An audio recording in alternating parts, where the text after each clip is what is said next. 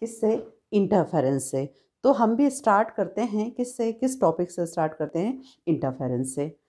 Actually interference interference means टकराना।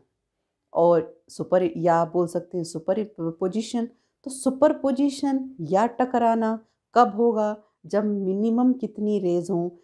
To minimum भी कितनी हो, टू हो, तभी जाके वे आपस में टकरा सकती हैं।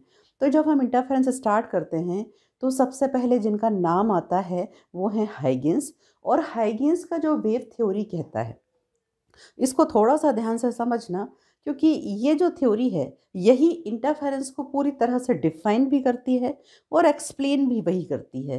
तो इसको जैसा जैसा इसमें लिखा हुआ है मे बी हो सकता है, कुछ आपको जो टर्मोलॉजी है वो थोड़ी सी नई लगे, इसलिए इसके साथ साथ मैं डायग्राम बनाती हूँ, ताकि आपको उस टर्मोलॉजी से खुद को आप कनेक्ट कर सकें, उससे आप फेमिलियर हो सकें, ठीक है? तो सबसे पहले suppose each point on a wave front है ना? Each point on a wavefront. Suppose S is a source. ये एक सोर्स है, जहाँ से क्या आ रही है? लाइट आ रही है। अब इस सोर्स को भी ये कैसा होना चाहिए? क्या कंडीशन होनी चाहिए? इसके बारे में हम डिस्कस करेंगे बट बाद में। तो अभी बात करते हैं। Suppose S is a source source कैसा होना चाहिए इसके बारे में हम डिस्कस, वो भी करना ज़रूरी है, वो बाद में करते हैं। फ़िलहाल इसी को लेते हैं।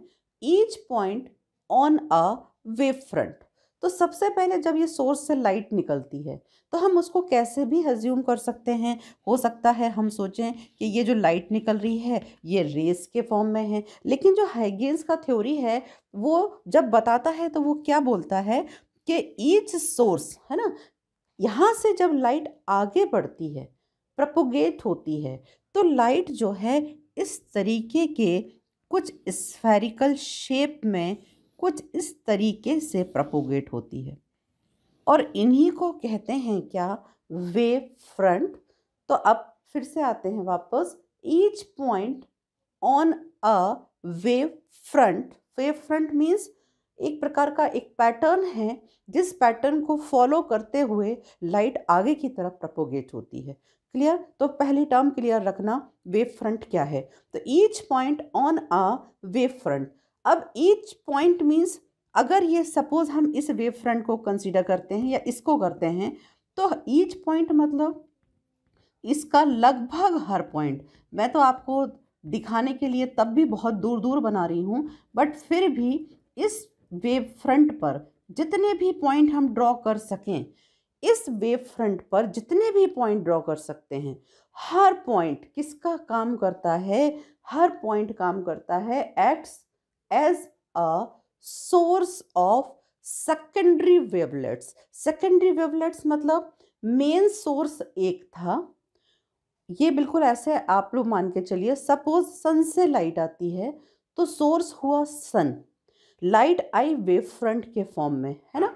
और आपके रूम में सपोज़ दो विंडो हैं तो वो जो दो विंडो हैं वो दो विंडो किसका काम कर रही हैं? एक प्रकार से आप मान लीजिए तो वो दो पॉइंट हैं। तो वो दो पॉइंट भी किसका काम कर रहे हैं? सोर्स का काम कर रहे हैं। और जो दो विंडोज़ से लाइट आ रही है विंडोज़ से लाइट आ रही है, उस विंडोज़ को आप ये बोल सकते हैं, उनको ये बोल सकते हैं कि जब वो विंडोज़ में से होके आ रही है तो उसको आप दो विंडोज़ को बोल सकते हैं कि दीज लाइट्स या these light rays are coming from secondary wavelets उनको आप क्या नाम दे सकते हैं? सेकेंडरी वेवलेट्स ठीक है? तो ये तो हो गया प्राइमरी सोर्स और इसका जो हर पॉइंट है, जो कि सोर्स का काम कर रहा है तो इसका हर पॉइंट अगर सोर्स का काम करेगा तो बनी बात है कि हर पॉइंट से क्या निकल सकती है बच्चों? इस तरीके से लाइट जो है आगे की तरफ़ बढ़ सकती है।